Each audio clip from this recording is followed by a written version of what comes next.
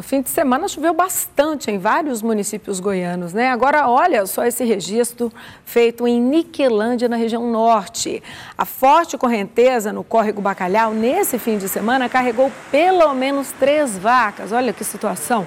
Um dos animais conseguiu se salvar subindo as margens aí do córrego.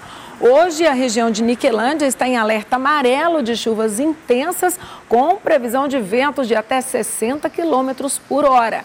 A informação é do Instituto Nacional de Meteorologia, então toda a atenção é pouco.